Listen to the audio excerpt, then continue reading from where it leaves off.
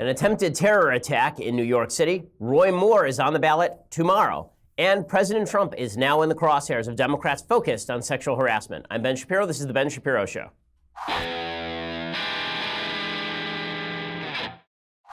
I hope you had a wonderful and relaxing weekend. We certainly did in the Shapiro household. But now we're back, and there's a lot of news as always. So it turns out that the Senate Republicans can't write a tax bill. There are certain rates in the tax bill that are above 100%. No, I am not kidding. And there was an attempted suicide bombing in New York. Plus, a bunch of the old Donald Trump accusers are back and better than ever. We'll talk about all of these things. But first, I want to say thank you to our sponsors over at Texture. So, in the era of digital journalism, in the era of attention spans that last approximately 0.773 seconds, somewhere in that neighborhood, what you actually want is in depth journalism a lot of the time. And the only folks doing that unfortunately, are some of the folks in the magazine business. Well, that's what Texture is for. The Texture app gives you unlimited access to 200 premium magazines. It has titles like Time, The Atlantic, The New Yorker, Vanity Fair, and Wired. If you're watching the New Yorker coverage of all of the sexual harassment, sexual assault allegations out of Hollywood, it was The New Yorker doing all of the heavy lifting. The Atlantic has a lot of very in depth articles about foreign policy that are really fascinating. And instead of you having to pay for a separate subscription for each one of these magazines, instead, the Texture app allows you unlimited access to 200 of them to help inform, entertain, inspire you this winter. And right now, you can try Texture for free. All you have to do is go to texture.com slash Ben, and you can start your free trial there. If you choose to continue, then my podcast listeners will actually get Texture for just $9.99 a month, which is 30% off their listed price. So you get it less expensive than it would normally be. Texture.com slash Ben. If you're addicted to information, you're stuck in the car, you don't know what to do. Well, if you have your Texture app, never you never have to be bored again. Plus, you can learn all the time. Texture.com slash Ben. That's texture.com slash Ben. Use that free trial and then keep using, and they'll, they'll give you the $9.99 a month deal, which is again 30% off their normal price. Texture.com slash Ben. We use it in our house. I use it. My wife uses it. It's a fantastic product. Okay, so we begin today with this attempted terror attack in New York City. So here is the latest. There's a guy who basically was intending, apparently, on carrying a pipe bomb onto a bus. Instead, his crudely put together pipe bomb burst in his pants. So that's about as well as these things can end. Uh, hopefully, he lost his ability to copulate. You know, that, that'd be the best that I hope would happen to him. Um, but he did. He lost it. Oh, that's good. So he, so he, he, he has removed himself from Darwin's pool. So that is excellent. Um, the, according to CBS New York, a suspect carrying a crudely assembled improvised bomb is now in custody following a blast in the underground walkway between Times Square and the Port Authority bus terminal on Monday morning. The blast happened around 7:20 a.m. during morning rush hour. Three other people suffered minor injuries that are not considered life-threatening. The other three transported themselves to area hospitals, so that means they're not too badly off if they can transport themselves. They had symptoms like ringing ears. The suspect has now been identified as Akayed Ullah, 27, who was wearing an improvised explosive device, according to Police Commissioner James O'Neill. I'm shocked. I thought for sure it was going to be Bob Smith, Mormon out of Utah. But it turns out it was Akayed Ullah from Bangladesh. He'd been living in Brooklyn since 2011. He had a visa. He came in with his parents and three to four siblings, so yay, chain migration, and subsequently obtained a green card and became a permanent U.S. resident. So making sure that all of President Trump's points about the freedom of our immigration system are proved in one story. And this fellow decided to join up with ISIS, apparently. Uh, he made statements that he was inspired by ISIS. Uh, the pictures do not look good for this guy. Uh, he's a, a, youngster, 27, and again, he has uh, lost his, um, his manhood, so that's exciting. Uh, he was rushed to Bellevue Hospital with non life threatening injuries. He suffered burns to his hands and abdomen. Um, the device was affixed to his body with Velcro and zip ties, according to O'Neill. It had wires protruding from it. The poor construction caused a flash of the explosive component, but there were no serious shrapnel injuries consistent with a traditional pipe bomb. So this guy was going to be a suicide bomber, the first suicide bomber in the United States really since 9 11. Federal law enforcement officials said the device malfunctioned. It did not fully detonate. There was a second device found on him. According to Representative Peter King, he may have been inspired by ISIS. He could have been inspired by Al Qaeda. That he was at the very least inspired by Islamic Islamist terrorism. It could turn out this is part of a larger plot. We don't know at this point you know, what the what the full story is. They had to shut down the Times Square entrance to the subway because of the terror attack, but uh, they will be reopening it, uh, I believe, momentarily. So uh, that one ends about as well as that one can end. President Trump has not tweeted about it yet. I'm certain that it will be all about immigration, uh, which makes perfect sense because, again, this guy came in from Bangladesh with his family, and then he was allowed to get a green card. We don't know why his parents were allowed in the country, what connections they had, if any, what their story is, but clearly our vetting system is somewhat flawed. Okay, well, all of that is happening. President Trump is going at it with the media.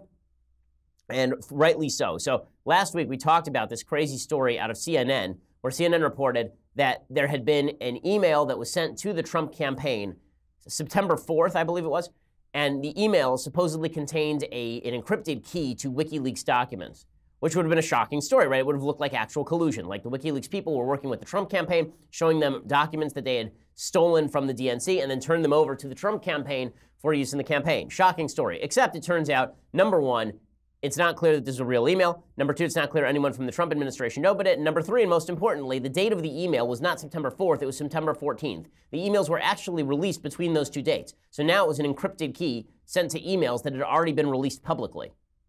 So the media ran with this. It was the head of CNN, it was on top of all the media outlets, it was, it was, it was all over the place. And then there was a, a story over the weekend where Dave Weigel, who is a reporter over at the Washington Post, he put out a, he put out a tweet that was a picture of Trump's rally in Tuscaloosa, Florida. Uh, and it was a picture of basically an empty setting. And he was suggesting that no one showed up for Trump. Turns out that was false. The entire stadium was full. And so Trump began tweeting about it. Here is what President Trump tweeted about the media. He tweeted very little discussion of all of the purposefully false and defamatory stories put out this week by the fake news media. They're out of control. Correct reporting means nothing to them. Major lies written, then forced to be withdrawn after they exposed, a stain on America. You want to know why nobody believes the media? Because the media do a job like this. And I'm trying to remember who made this point, but it's a good point. It wasn't me, uh, but the point is a good one. And that is that all of the errors are in one direction. There's never an error in journalism that actually has an impact on Democrats, right? The errors in journalism always hurt the Republicans. And so you have to think that this has something to do with the bias in the media, right? Weigel, who is, from what I can tell, a nice guy, I've dealt with him a little bit, but he's certainly of the left. I mean, he was part of the so called JournoList on which uh, several years ago, this would have been like 2012, 2011, uh, in which Weigel was part of this list of journalists who were kind of talking about stories, all of them from a left wing perspective. Trump at his rally talked about the fake news, and he said that they are not spending any time talking about the economy, which is also true. He said, Things are going really well for our economy. He tweeted this out. The subject, the fake news, spends as little time as possible discussing. Stock market hit another record high. Unemployment is now at a 17 year low. Companies are coming back into the USA. Really good news, and much more to come. All of this is true, right? Unemployment is at a 17 year low, the stock market is at another record high, and a lot of that is due to the feeling not that President Trump is necessarily getting huge things done, but that President Trump is not going to threaten the economy. One of the reasons money sits on the sidelines is uncertainty. Anyone in economics will tell you uncertainty is not good for the economy. Trump does not actually create economic uncertainty because, again, if Trump is going to do anything, it's very likely to benefit business, not to harm business. The same was not true for President Obama. So Trump is right. The media have spent very little time talking about the economy. Now, to be fair to the media a little bit, President Trump doesn't spend a ton of time talking about the economy either. But it is also true that the media go out of their way to pick stories that are not good for President Trump. And Dave Weigel, by the way, came out and apologized for having sent all of this, uh, for having for having sent this tweet with the empty stadium after Trump came out and criticized him personally and suggested that he might be fired. I here is Weigel apologizing. Sure thing, I apologize. I deleted the photo after David Martosko told me I'd gotten it wrong was confused by the image of you walking in the bottom right hand corner. It was a bad tweet on my personal account, not a story for the Washington Post. I deleted it after like 20 minutes. Very fair to call me out. Everything I say on Twitter is a joke, except what I say about uh, Swin24, which is, I think, uh, uh, another reporter. In any case, Weigel handles that like a man, and that's the way you should handle it when you make a mistake. So, uh, good for Weigel, but the bottom line is that no matter how much the media now attempt to walk it back, the overwhelming feeling that the media are out to get Trump has a pretty significant effect on how people see politics. And that means that they are less likely to believe outlets that are not on their side. It means that they're, even if there are outlets on their side, they may believe that those outlets are quote unquote out to get politicians if the politicians have been victimized by the media before. And this is not good. It's not good for the media. It's not good for politics. It's not good for the soul of the American people. Trump is not wrong, again, to attack the media on a routine basis. The media have attacked Trump on a routine basis. However, the, Trump's attacks on the media are just polarizing politics even more. I wish that Trump would restrict his attacks on the media to things like the CNN thing. I think that when, when Trump attacks the media fairly, I'm on his side. When he attacks it unfairly, I am not on his side. But the bottom line is this is the backdrop to the entire political conversation we're having. And the reason this is important is because now we are involved in a, in a knockdown, drag out race in Alabama. And how people are voting in Alabama is impacted largely by their view of the media. I would suggest that if you take two, if you ask a couple of poll questions, poll question number one, how many people think that Roy Moore is innocent? And poll question number two How many people trust the media? I would suggest that exactly the same people who say they have no trust in the media think Roy Moore is innocent. Meaning that it's not really about Roy Moore being innocent, it's about distrust in the media, distrust of the narrative, the suggestion that Roy Moore is being unfairly targeted. And the problem is that any resistance to Moore by anyone is now going to be linked up by the same people who uh, attribute this to the media they're going to say that anyone who, who sides against Moore is now part of the media establishment, part of the media elite. So one of those people is Richard Shelby. Richard Shelby is the senior Republican in Alabama uh, in the Senate, and he says that he did not vote for Roy Moore. He already voted. He wrote. Right, he voted right in. Well, you're going to wake up on Wednesday, and one of these two men, Roy Moore or Doug Jones, is going to be your fellow senator from Alabama. Which one would you rather deal with on a professional level? Well, I don't have to answer that question today. I, I had rather see another Republican in there, and I'm going to stay with that story. I'm not going to vote for the Democrat. I didn't vote for the Democrat or advocate for the Democrat, but I couldn't vote for Roy Moore. The state of Alabama deserves better. Uh, I think we, we've got a lot of great Republicans that could have won and carried the state beautifully and served in the Senate honorably. And I think that there's a lot of truth to what Richard Shelby is saying here. The problem is, once again, people have bought into the narrative fight, and once they bought into the narrative fight, they're not going to snap out of it. So there are two polls out today on Alabama. Poll number one from Fox News says that Doug Jones is up 10 points in Alabama. Poll number two, I believe is a Marist poll, suggests that Doug Jones is down nine points in Alabama. It's very difficult for the pollsters to actually gauge what exactly the election tomorrow is going to look like. It could really go either way. The reason for that is you can't model turnout in a, in a special election. Number two, this issue has really polarized the electorate, and it's not clear who exactly is going to show up to vote. And number three, the media attention on the race means that different people may show up to vote. So the pollsters are having a very difficult time figuring out exactly how this race is going to go. Bottom line is it could go either way at this point. It's not clear that Jones is going to win. It's not clear that Moore is going to lose. All of that said, it would not surprise me in the slightest if Moore were to win, especially given, again, that polarization that I'm talking about. The media, every attack by the media on Roy Moore is seen by Roy Moore supporters as a media attack, not as an element of truth. And that's exacerbated by the fact that Barack Obama now cut a robocall ad in favor of Doug Jones in Alabama. That is not smart. Barack Obama should have stayed out. This is a state that is two thirds Republican. Attacking Roy Moore by Barack Obama is not going to be helpful. It may drive up Democrats. It may drive out Democrats a little bit, but it's going to drive out Republicans far more, you would think. President Trump is also issuing robocalls in the Moore race, so he's getting very active in the Moore race. I think there's another reason why, by the way, that is happening. I think there's another reason why Trump is pushing more in this race, and I'll tell you why in just a second. First, I want to say thank you to our sponsors over at Zeel. So, there's very few things in life where you can really feel wealthy without having to be wealthy. Zeel is one of those things. So Zeel is a mobile massage one-stop shop basically. So Zeel is an app you book a 5-star top quality massage at a time that works for you in your home. So you had a rough day, uh, you, you hurt yourself working out, you hurt yourself at work, you come home, and the Zeel app allows you to order a masseuse basically on demand. And these are all licensed masseuses. They have over 9,000 9, of them nationally. Go to zeel.com or on Zeel's iPhone or Android app. It's zeel.com. You select from top local licensed pre-screened massage therapist and choose your favorite technique, gender preference, time, and location for your massage. They'll send again one of those 9,000 licensed masseuses with a massage table, music, everything you need to turn your living room into a spa, give you a five star massage. We've used it in our family. I've used Zeel. My wife has used Zeel. Both my parents have used Zeel. My in laws have used Zeel. It's a very popular thing in our family. Makes for a great holiday gift, too. Like you want to make somebody's Christmas then just give them a gift card uh, or order a massage for them. It really does make a terrific gift.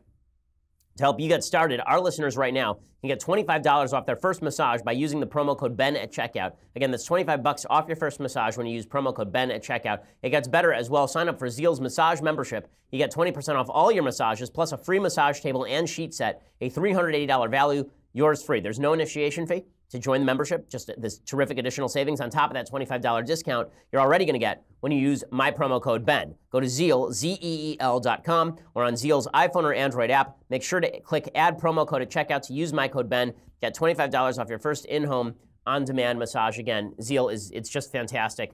Uh, it'll definitely help you get in good with the in-laws and the relatives uh, if you are if you are seeking to do that. Zeel, Z-E-E-L dot com, and use that promo code BEN. Okay, so President Trump is now pushing Roy Moore in the robocall. Now, I think this has to do with more than just the Alabama race. And I'll explain that in just a few minutes here. But first, I think that it's clear. Uh, first, let's play Trump's robocall for more. So here's his robocall for more that's now playing in Alabama. This is President Donald Trump, and I need Alabama to go vote for Roy Moore. It is so important. We're already making America great again. I'm going to make America safer and stronger and better than ever before. But we need that seat. We need Roy voting for us.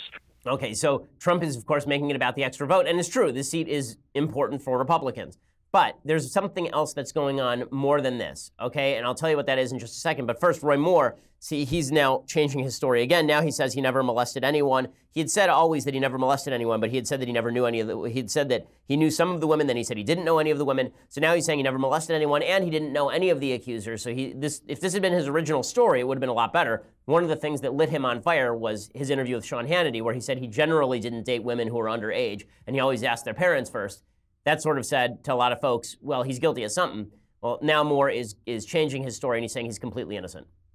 You have said that you did not know them or had no encounter with them. That's my understanding. I do not know them. I had no encounter with them. I never molested anyone. And for them to say that, I don't know why they're saying it, but it's not true. Okay, and that's going to be his line, right? His line is going to be that none of it's true. He did not hit her. He did not. I did not. Oh, hi, Mark. That's it. Sorry, you'll, you'll understand that reference when we get to things I like a little bit later in the show. But, they, but it's just, this is his new line, and he's going to play it for all that it is worth. Now, why is Trump so focused on this?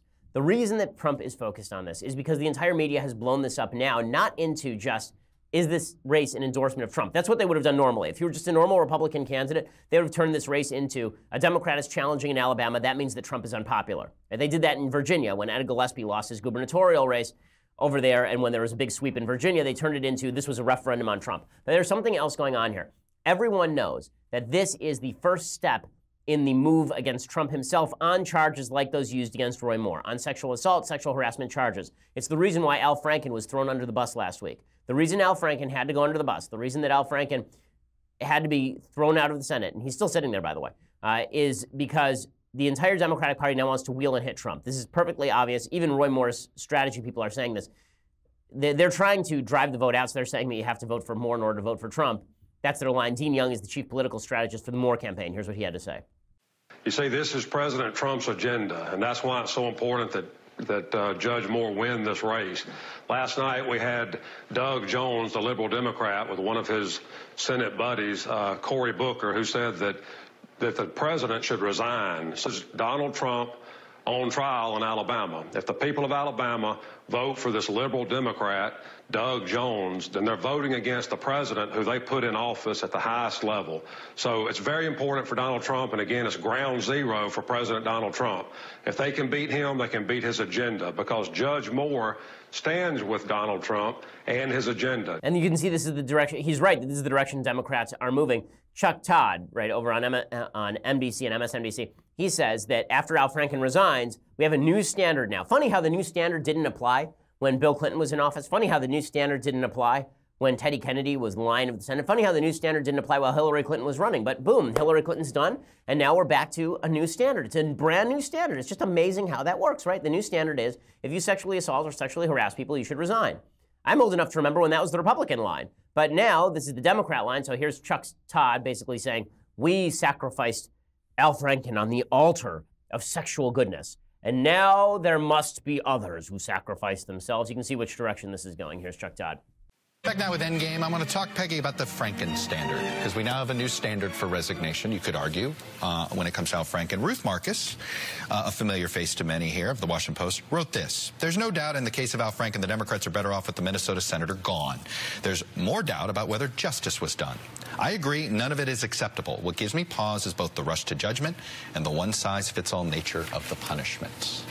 Fair enough, but we had, you know, this is a country trying to establish, it's certainly a U.S. Senate trying to establish new standards for acceptable behavior. And again, funny how the new standards only apply as soon as Trump enters office. Here's Bernie Sanders two weeks ago, wouldn't get rid of Al Franken. Now, who should, who should leave? It's Trump, of course.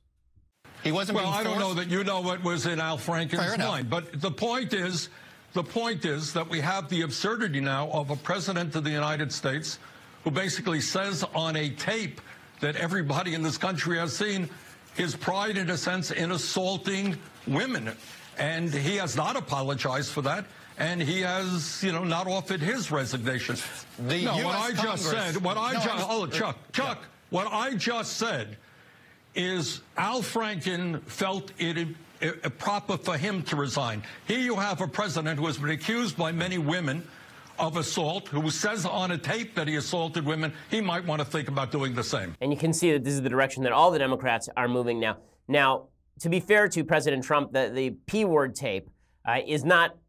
It's not supremely clear on the idea that Trump himself admitted to grabbing women by the bleep, right? He talks about how he moved very heavily on one married woman. Uh, he's talked. He talked about how he likes to kiss women. He just can't stop himself from kissing women.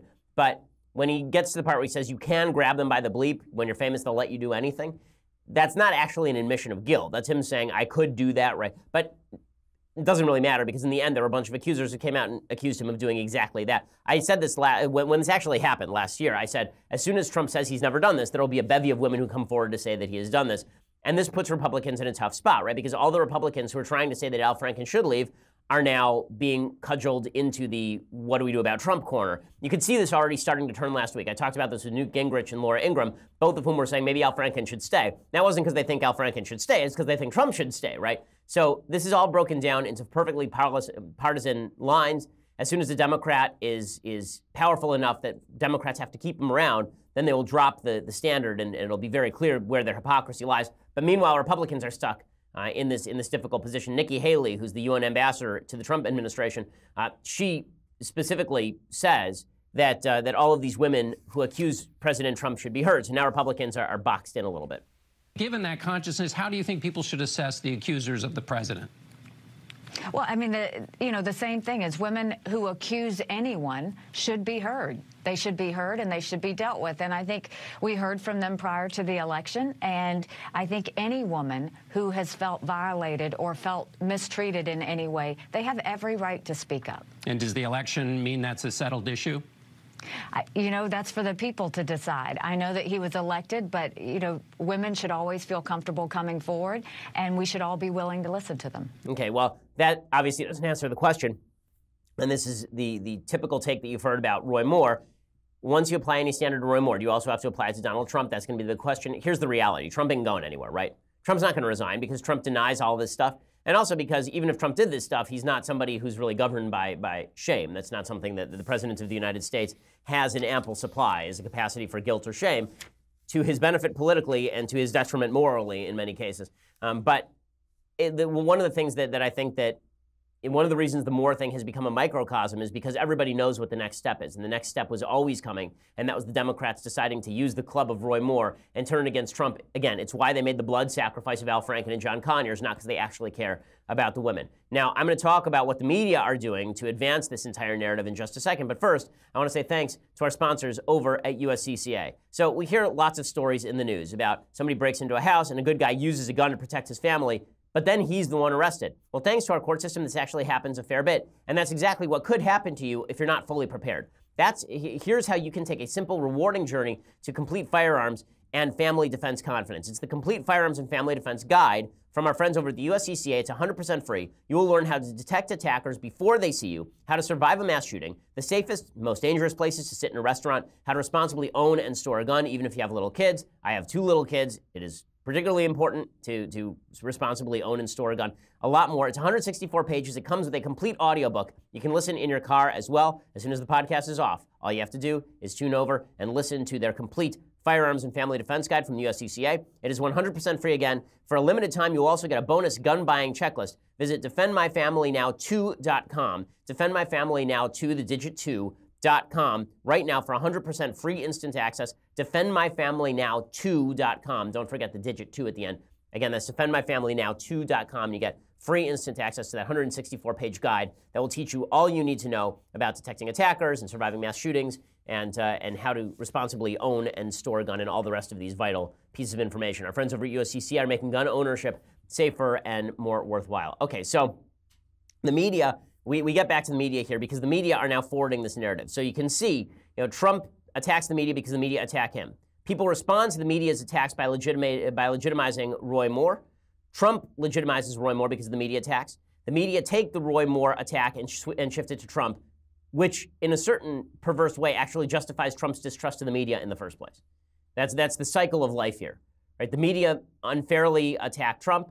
Trump attacks the media. People perceive the media as being unfair. The media report, in my opinion, correctly on a bad Republican. Republicans rally to that bad Republican side because they don't trust the media. The media then make a second move by extending the Roy Moore stuff out to President Trump in what I think is a politically driven way. And then the Republicans disown that. And so the spiral continues ever downward. You can see this today. Megyn Kelly had three of Donald Trump's accusers on the Today Show today, on Megyn Kelly today. She brought on Samantha Holvey, Jessica Leeds, and Rachel Crooks. All of them say that at some point they were on the receiving end of behavior from Trump, ranging from forcible kissing to groping. These all, all these women showed up uh, in the middle of the campaign. If you recall, uh, we begin with a flashback to Jessica Leeds. Here's Jessica Leeds, one of the accusers. She suggested that Trump groped her without permission. This is back in 2016. I was sitting with him on an airplane, and he went after me on the plane. Yeah, I'm going to go after. Believe me, she would not be my first choice, that I can tell you. I, I find that just ludicrous because he didn't pick me. I was there. I was available, and he was bored. That's, that's all it was. That's all it was. The other women who are beautiful and, and, and beauty pageant types, and most of them have long blonde hair, which is something he seems to like. He picked them, but I was just there. Okay, so she is one of the accusers. The said that was one of the accusers Kelly had on today. Second accuser is a woman named Samantha Holvey. She says that Trump used to like walk through the Miss USA pageant and then inspect the contestants. As I understand, there uh, you have an experience of something that happened the night before the pageant. Well, not the night before the pageant, but um, when we were in New York City on the media tour, they were doing a book launch at Trump Towers for the Universal Beauty um, book, and they had a bunch of former Miss USAs and Miss Universes, and all 51 of us, and we did the red carpet, and that was tons of fun. And then they lined us all up, and Trump went down the line, and he shook your hand, and um, you know, looked you over, looked you up and down, head to toe. Um, and was just checking everybody out. And you thought, you felt? I felt uh, very dirty. Um, it was very creepy. It's kind of like when you're at a bar and a creepy guy is checking you out. That's that was the experience for me. Okay, so number one, that is not actually sexual assault. Okay, and if it's sexual harassment, you are in the Miss USA contest, like where people gaze upon you in your bathing suit like Donald Trump runs it? Was was was anybody under the impression that this was a class contest? Uh, like really, but it's this is one of the things the media are doing. They've lumped together everything from Harvey Weinstein all the way down to Samantha Holvey. They did that in order to get rid of Donald Trump. One of the reasons they started taking the Weinstein stuff seriously is because this was always going to wheel on President Trump. Now, should President Trump have borne some responsibility for the stuff that he did during the campaign? I think the answer is yes, but that should have happened during the primaries, meaning once it got to the general election, then people had other concerns. There are a lot of people saying, well, everybody ignored, like one of these accusers, uh, I think it was Leeds today, was saying that people ignored the accusations about Trump in order to vote for him. I think a lot of people did do that, but I think it's unfair to suggest, just the same way it's unfair to suggest everyone who's voting for Moore is doing so in celebration of the allegations. I don't think it's fair to say that everyone who voted for Trump was doing so in celebration of these allegations. They're doing so because they didn't want to vote for Hillary Clinton. A lot of the people who vote for Moore are going to do so because they don't want Roy Jones in there, uh, or Doug Jones in there, rather. But the bottom line is that the media always had a, an agenda here. Now, listen, should President Trump step down? Should President Trump step down because of the sexual assault, sexual harassment allegations? Sure, why not? I mean, like, honestly, all these people should. Like, I'm going to say something controversial now. Okay? My controversial thing is that everyone who was involved in grabbing women by the bleep, or forcibly kissing women, like Al Franken, or raping women, like allegedly Bill Clinton, all these people should not be in politics. It was our job to be the gatekeepers. We didn't do it. But if we lived in an honorable politics, would we do it? Sure, we would do it. Is it going to happen? No, of course it's not going to happen. It's not going to happen. So all this really amounts to, in the end, is the media bringing back up an old topic in an attempt to shame Republicans for the upcoming election. That was always going to happen anyway, by the way, because the bottom line is that Republicans were always going to have to embrace the consequences of a man in high office who is alleged to have done all of these things. And the allegations, the, the list is very long. But that's not to suggest that the media bias isn't very real. The media bias certainly is real. Again, I wish everyone in politics were good, and I wish that voters held everyone to a standard, but obviously we don't. Okay, so as we continue I want to talk a little bit about what's going on in Jerusalem. So, what's been amazing actually is that the lack of terror surrounding Trump's announcement that Jerusalem was now going to be recognized as the official capital of Israel, it's actually pretty amazing.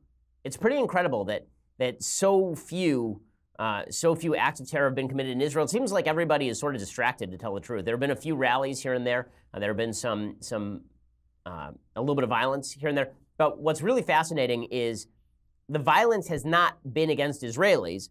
The violence has been against Jews, and this is the way that it works because all of the people who pretend that anti-Israel sentiment, anti-Zionism is really just about you dislike what the state of Israel is doing in the end, it almost universally ends up being you don't like Jews very much. And the way you can tell this is, for example, what happened in Malmo, Sweden. So, Malmo in Sweden has become a city that's largely been populated by Muslims from the Middle East in disproportionate fashion. Uh, and a lot of those people uh, are anti Semites. And so, here is a rally in Malmo where hundreds of people were literally chanting, Kill the Jews. It says, Arm me, make me of service. Says, Down with the house of Saud, strike them with knives.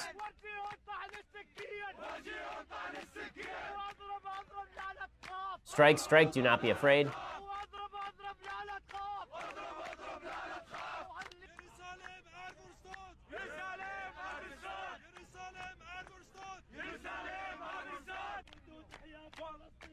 says, We die, Palestine lives. These charmers are in the West, by the way.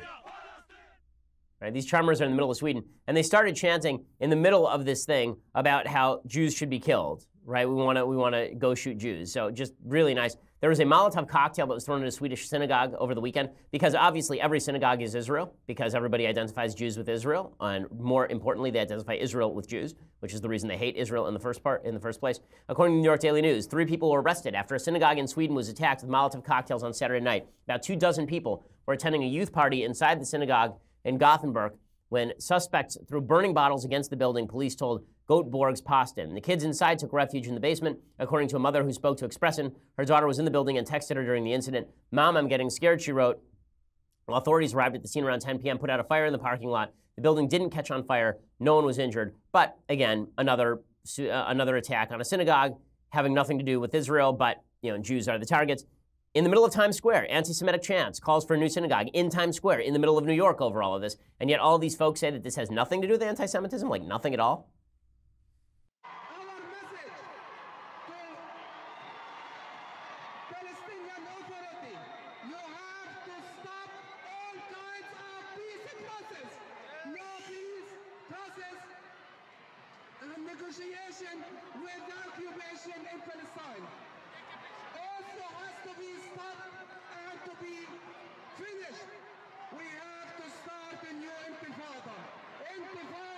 24! 24!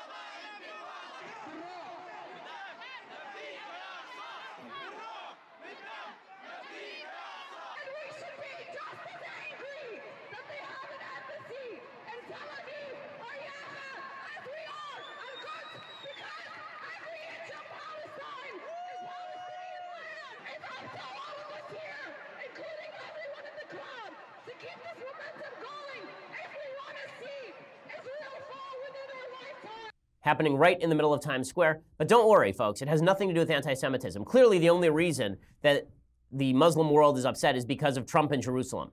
They weren't upset before that. You know, everything was hunky dory before that. You know, all the Palestinian knife attacks in the middle of Jerusalem and ramming vehicles into, into toddlers and strollers in the middle of the Jerusalem train station and the shootings of people in the middle of the street in Jerusalem. Like, all that was happening before Trump said any of this, but really it was all Trump's fault. You see, what happened is that Trump, all the, all the Palestinians and their allies, they, they went back in time and they knew already that Trump was going to say this. And so they went back like to 1929 and started slaughtering Jews in Hebron because they felt like Trump was eventually going to say something about Jerusalem. That's clearly what's going on here. It does give the lie to the ridiculous, stupid, asinine idea that the movement against Jews in Israel is not a movement against Jews, it's just a movement against Israel. And the real reason they're upset is because of Trump. They're not upset about Trump. Trump, honestly, they're less upset about Trump than I've seen them about anything in a while because they're they're distracted with Iran. At least a lot of the the Sunni Muslims who normally would be up in arms about this sort of thing. This is the right move by President Trump. It was a good move by President Trump. Um, and again, anti-Semitism is going to exist across the world and target Israel because there are a lot of Jews there. People hate Israel because, because they hate the Jews. They don't hate the Jews because they hate Israel. They've hated the Jews for thousands of years before the modern state of Israel. It's just one of the dumber arguments I've heard in the recent past is that if Israel were just kinder, if Israel had divided Jerusalem, then all of this would have gone away. Jerusalem was divided from 1948 to 1967. That did not stop terror. It did not stop the, the Arab armies from attempting war in 1956 as well as 1967.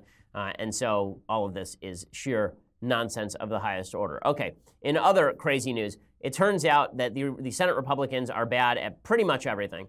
Uh, according to Richard Rubin, some high income business owners could face marginal tax rates exceeding 100% under the Senate tax bill.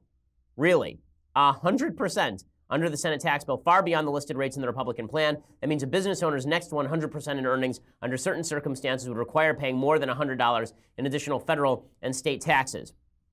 As lawmakers rush to write the final tax bill over the next week, they're already looking at changes to prevent this from happening. So they just they rush this thing through, and it actually includes the idea that if you were a married, self-employed New Jersey lawyer with three kids and earnings of about 615 grand, then you would actually pay $105 in taxes for every $100 more in business income. So well done drawing this bill, guys. You did a spectacular job.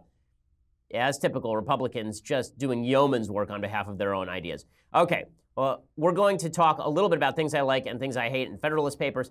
But before that, we're going to have to break from Facebook and YouTube. For that, you're going to have to subscribe at Daily Wire. $9.99 a month gets you a subscription to dailywire.com.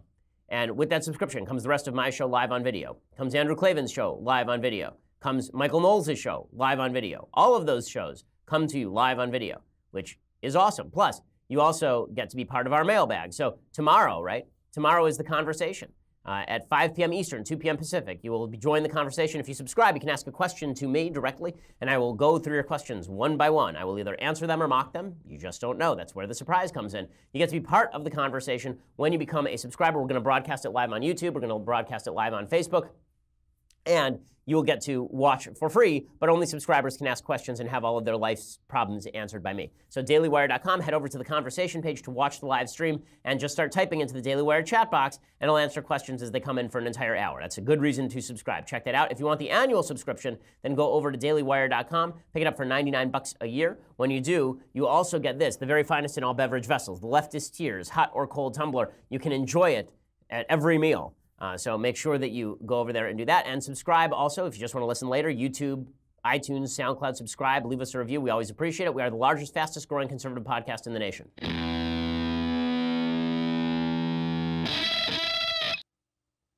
Alrighty, so I'm going to leave some time for some things I like and things I hate and the Federalist paper of the day. Every Monday we go through a Federalist paper. We are now up to Federalist number seven, so we'll get to that. Okay, so uh, we begin with things I like. So I will admit I have not seen this entire movie yet. Uh, Mathis, my, my producer, uh, has been highly recommending The Room for, uh, for at least a week to me. Ever since I learned of this movie, The Disaster Artist with James Franco, I was like, what is that about? He said, well, there's this movie, The Room, and it is a so bad it's good classic. It's just an amazing film. Mathis owns a copy of it that he forgot at home. You cannot stream this. Apparently, you have to get it on DVD. But but you got but you that's right. Mathis says you have to commit. Um, and the and you but you can watch the best scenes of it on YouTube. And I will say this you know, Mathis says you have to watch the whole thing. To get the humor of the room, you don't actually have to watch the whole thing. You just have to watch some of the scenes because they are incredible. So I, for you, have brought together a couple of the scenes from the room. It's a masterpiece of, of bad cinema. Basically, the story here is a guy named Tommy Wiseau uh, is the producer, writer, and director of this piece of hot garbage. He's an Eastern European guy who no one knows where he came from. He won't say how old he is. Somehow he came up with $6 million. So I assume that he robbed a bank somewhere. Uh, and he came to the United States and decided to make what easily is the worst movie of all time. Um, it's true, but he meant it to be good. He didn't mean it to be parodic. I mean, he meant it to actually be a good movie. He stars in it. He's supposed to be an all American guy. He sounds like a Transylvanian vampire. Apparently, there was originally a scene where he would turn into a vampire in the film. Uh, that was cut, unfortunately. That would have made it even greater. It might have killed it because it might have it might have actually broken the realism of the of the terribleness. Um, but here here are a few scenes from the room. You, again, this has been the news because James Franco made a movie called The Disaster Artist about the making of this terrible, terrible film.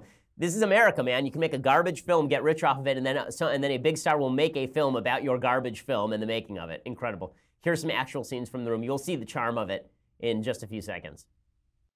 Hi. Can I help you? Yeah, can I have a dozen red roses, please? Oh, hi, Johnny. I didn't know it was you. Here you go. That's me. How much is it? It'll be $18. Here you go. Keep the change.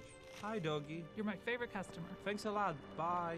Bye-bye. I did not hit her. It's not true. It's bullshit. I did not hit her. I did not. Oh, hi, Mark. People are very strange these days. I used to know a girl. She had a dozen guys. One of them found out about it, beat her up so bad she ended up in a hospital on Guerrero Street. What a story, Mark. you are lying. I never hit you. You are tearing me apart, Lisa.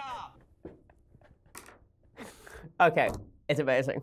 It's amazing. I mean, what, what more is there to say about it? If you want to see something really funny, uh, watch the watch the compiled uh, the compiled scenes, the compilation, and then go over to go over to the honest trailers version of the room because it's very very funny. Um, but this thing has become now a cult classic, and for good reason. I did not. That, that was my reference earlier to. Uh, I did not hit her. I did not. It's. oh hi Mark. Amazing, amazing. I have to say, my, my single favorite thing there is um, is the story about the woman who's beaten so badly she ends up in a hospital, and Tommy Musso laughs, ha ha ha! What a story, Mark. That's that that, that was his takeaway.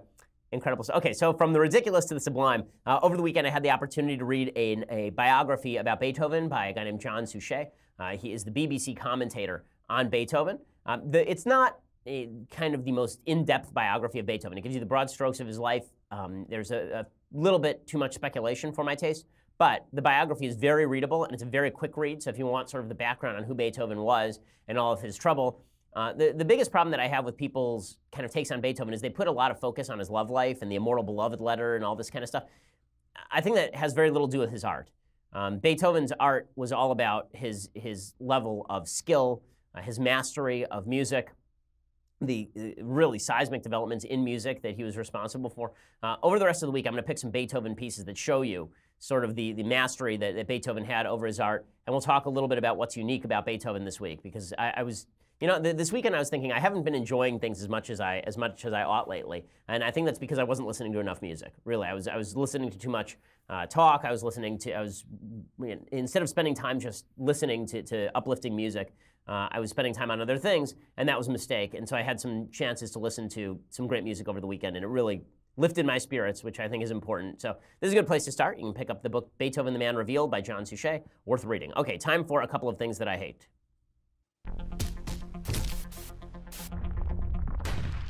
All right, so we begin with this video that's now gone viral of a student, I guess he's in Tennessee, uh, who was bullied at school, and he was talking on video. His mom took a tape of him, went viral. All these celebrities pledged their support. I want to talk a little bit about what's happening here. Why do they bully? What What's the point of it? Why do you find joy in taking innocent people and finding a way to be mean to them? It's not okay. What do they say to you? They call me, they make fun of my nose. They call me ugly. They say I have no friends. What'd they do to you at lunch? Pour milk on me and put a hand down my clothes. Threw bread at me. Is it just you? Yep. Or is it other kids too that feel that way? Say it's other kids too. How's that make you feel? I don't like that they do it to me, and I for sure don't like that they do it to other people because it's not okay.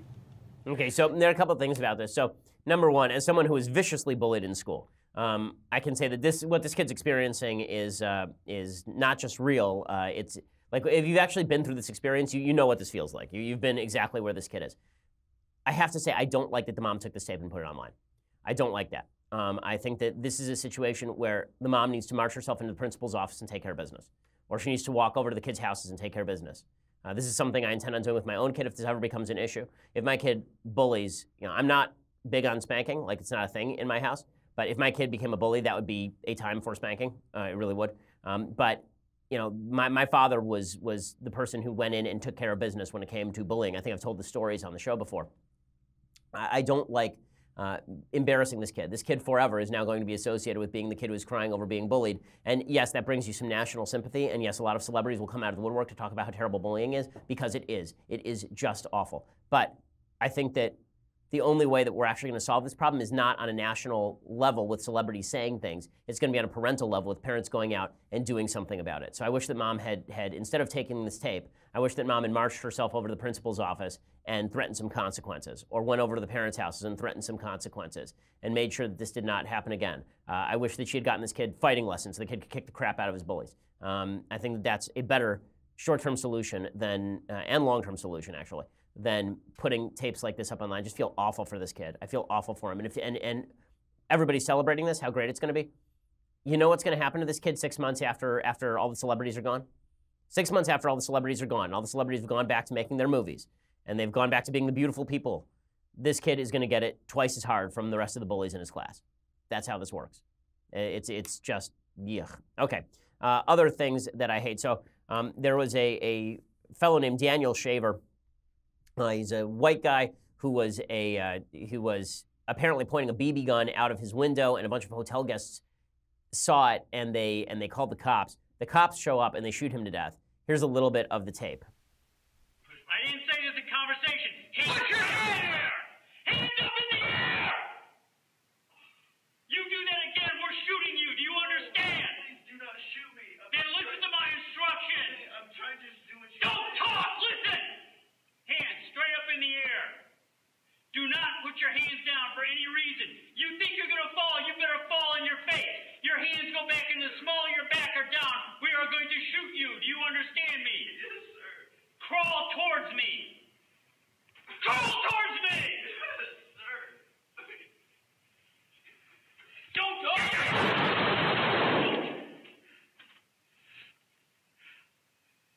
Get up on him. Okay, so they they murder they, they killed this guy. I mean, it looks it looks a lot like murder, right? You can see that his hand moves so, sort of toward his waistband, and this is the excuse that they're using is they reach behind him. But this is, this video is like seven minutes long. They brought him out in the hallway. They shouted all sorts of contradictory commands. They they told him to put his hands behind his head and then crawl toward them. And then the minute that he like puts it, they, they actually told him to put his hands kind of, I guess, behind his head and crawl toward them. Like you can't actually do all these things. So you have one idiot supervisor who is yelling all these commands at this guy. The guy's name was was Shavers. Uh, Daniel Shaver. He was 26 years old. He'd been doing rum shots of the woman he'd met earlier in the day, showing off a pellet gun he used in his job in pest control. The graphic video was recorded by Brailsford's body camera, and it showed Shaver and the woman exiting the hotel room, immediately complying with commands from multiple officers.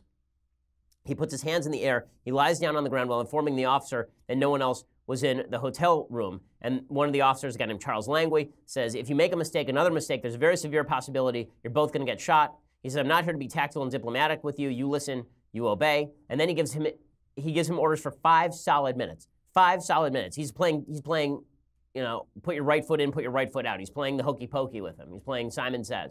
He tells an, uh, he tells Shaver to put both his hands on top of his head. Then he instructs him to cross his left foot over his right foot. The guy's completely drunk.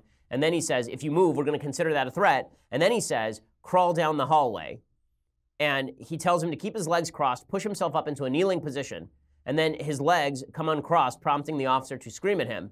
And then he puts his hand near his waist, prompting another round of screaming. And he said, You do that again, we're going to shoot you. And he says, Please don't shoot me. And then he crawls down the hallway. And at one point, because he's been lying face down, his shorts are falling down, and he's drunk, he moves to pull up his shorts, and then they shoot him to death. And the rifle that he was carrying, this cop, was etched with the phrase, You're effed. Just fantastic, guys. Just fantastic. Now, what, a couple things worth pointing out here. One, bad training matters. Number two, juries almost always give the benefit of the doubt to the cop. So a lot of the evidence that was presented talked about the sort of threat that had been reported by people in the next door room. They were afraid that if they walked over to the guy, there might be someone behind the door who was going to pop out and shoot them. So the, the officer was acquitted in this case. But number three, the level of national outrage over this case is not even, there have been no riots, there have been no protests, nothing. And the reason for that is because the guy who was shot is white. Let's be perfectly frank about this. It's because we are more concerned with racial conflagrations in this nation than we are really about police brutality. This is a pretty clear cut case of police brutality and police misaction, and the level of outrage over it is not even close to the level of outrage over Michael Brown, who was justifiably shot by witness testimony and by, the, and by circumstantial evidence. So, uh, it's it just, just a horrifying video right there. Uh, and uh, it goes to show you that, you know, cops in bad situations sometimes make bad choices. This looks like manslaughter to me, at the very least. Okay, we're to go through Federalist 7 really fast. So every week we go through a Federalist paper. We are making our way all the way through the Federalist papers. Federalist number 7. This is Alexander Hamilton again. And here he discusses possible sources of discord between the states. If we weren't to form a national government and we were just to have a bunch of states with their own governments, why would that bring us to conflict? And it's actually very prescient because he talks about all of these reasons why states could get into a war.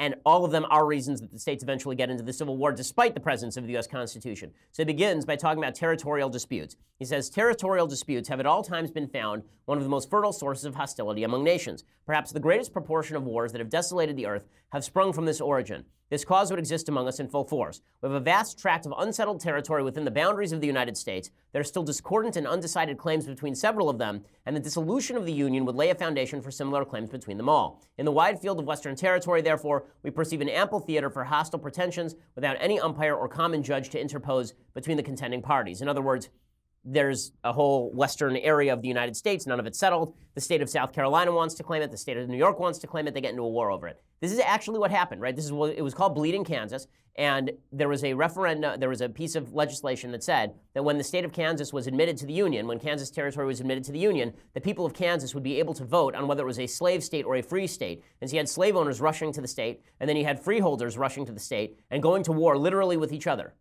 And there were massacres of Americans by Americans. It was basically a small civil war in Kansas called Bleeding Kansas.